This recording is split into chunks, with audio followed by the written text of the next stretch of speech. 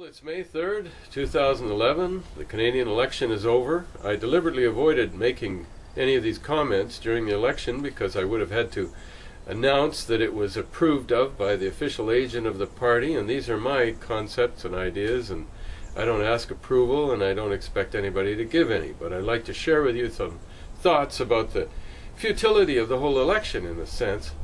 It was fought without any regard to real issues. What was the issue in the election? Competence?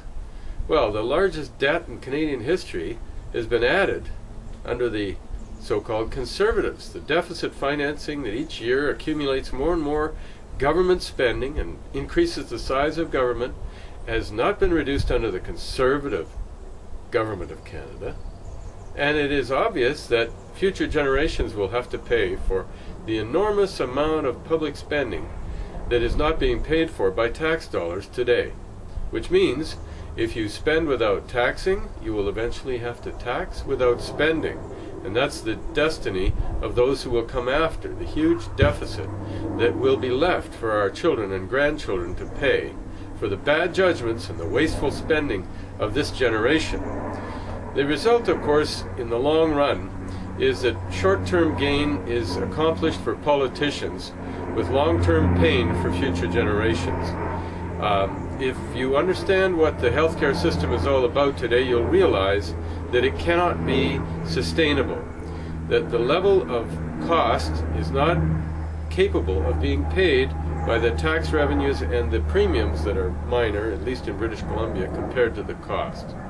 And the result in the long run is that we are going to lose the capacity to take care of the health of ourselves and this generation, mine I guess, is as of now getting much closer to the point where medical expenses increase.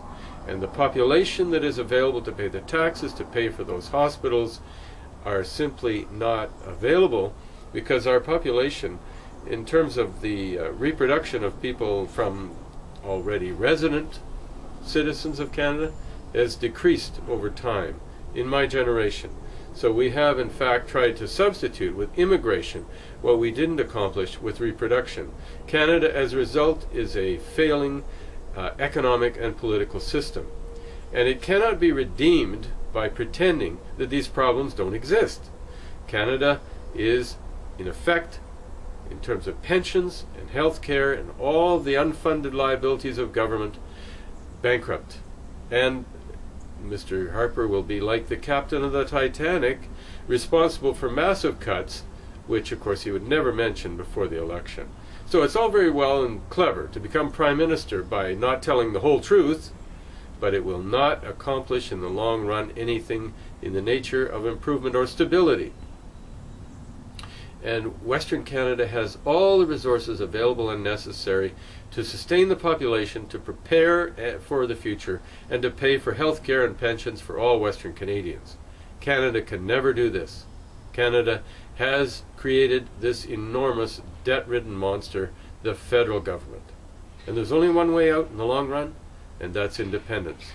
So, although our candidates didn't do that well, I want to thank them for the valiant effort in a what in effect was a hopeless cause.